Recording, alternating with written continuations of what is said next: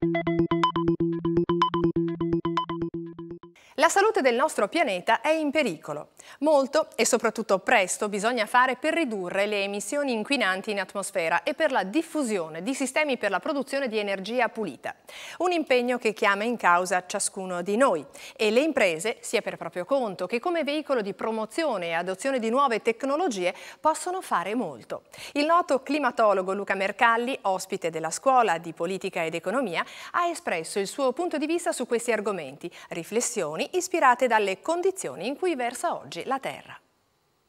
Il pianeta non sta tanto bene, ma quello che ci preoccupa non è tanto il pianeta in sé che ha 4 miliardi e mezzo di anni di esperienza e ne ha passati di tutti i colori, ma è l'umanità, perché la nostra specie si è sviluppata in un pianeta che funzionava in un certo modo.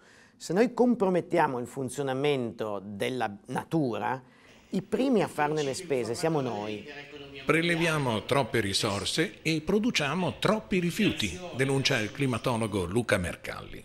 Noi viviamo grazie a una natura che funziona in un certo modo, per esempio in grado di depurare i nostri rifiuti. Se noi produciamo troppi rifiuti e preleviamo troppe risorse, a un certo punto questo meccanismo si inceppa e ne facciamo le spese noi perché da un lato abbiamo meno prodotti su cui basare il nostro benessere e abbiamo al contrario un aumento eccessivo dei rifiuti che oggi generano due problemi fondamentali. Il primo è il cambiamento climatico e il secondo è l'inquinamento che nuoce alla nostra salute.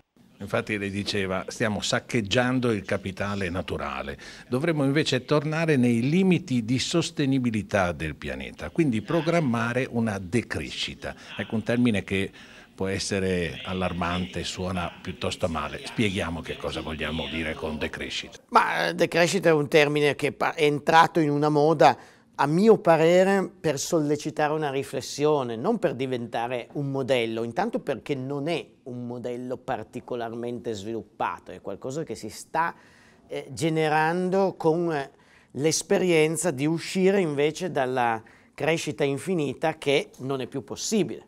Il punto fondamentale come reazione al modello economico attuale è che in un mondo dalle dimensioni e dalle risorse limitate, come è il pianeta Terra, non è possibile una crescita materiale infinita, per ovvie ragioni.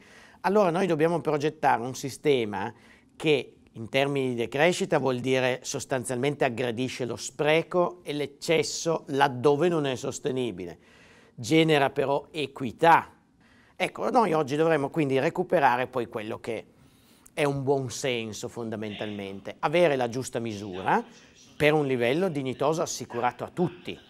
Possiamo ancora farcela, ma il tempo per correre ai ripari è sempre meno e a preoccupare, secondo Mercalli, sono l'inerzia del popolo e l'indifferenza di chi governa e programma lo sviluppo rispetto ai segnali d'allarme e alle previsioni, rivelatesi azzeccate, disponibili già dai primi anni 70. Il passato è passato, ma progettiamo almeno un mondo del futuro dove la sostenibilità sia reale.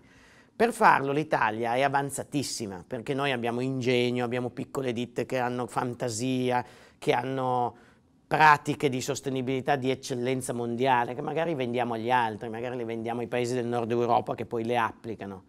Il nostro problema italiano è la coerenza, la mancanza di coerenza. Noi abbiamo le pratiche migliori come delle piccole isole locali e poi attorno un oceano di indifferenza o addirittura di qualcuno che rema contro.